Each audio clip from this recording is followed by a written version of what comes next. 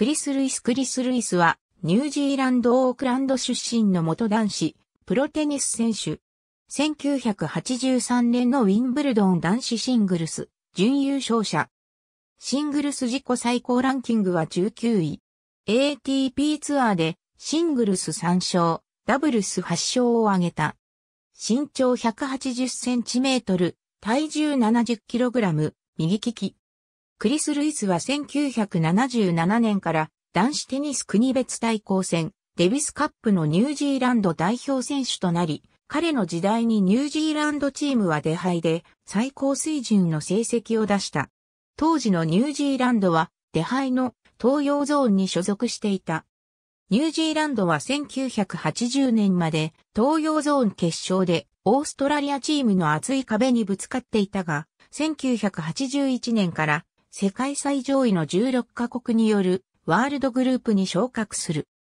1982年にニュージーランドは国の最高成績を出し、ワールドグループ準決勝に勝ち進んだが、ヤニック・ノアやアンリル・コントなどの強豪選手を要するフランスチームに2勝3敗で敗れた。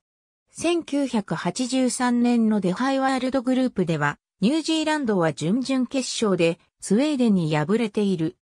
しかし、1984年のワールドグループ1回戦で敗退したニュージーランドはワールドグループプレーオフでもエクアドルチームに敗れたため、1985年は東洋ゾーンに交代する。ルイスの引退後はニュージーランドチームは前世時代の輝きを失い、現在はアジアオセアニアゾーンの下位グループにいる。ルイスがウィンブルドン男子シングルス決勝に進出した1983年は、デビスカップでニュージーランドがワールドグループで上位争いに加わっていた最盛期の時期にあたる。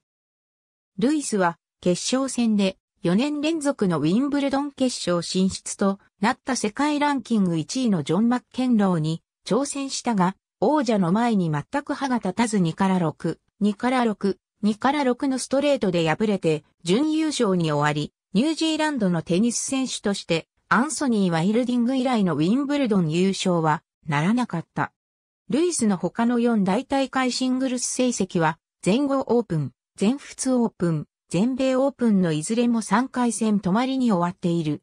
男子ダブルスでは全米オープン以外の3大会でベスト8に進出した。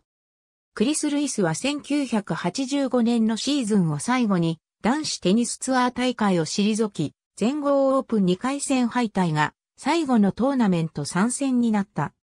彼の現役最後の試合は1986年3月7日から9日にかけて故郷のオークランドで行われたデビスカップワールドグループ1回戦だった。ニュージーランドはオーストラリアに1勝4敗で敗れ、ルイスはシングルス2試合で、ピーター・マクナマラとポール・マクナミーの両選手にストレート負けした。ルイスの引退と同時に、ニュージーランドの出敗での黄金時代も幕を閉じた。ありがとうございます。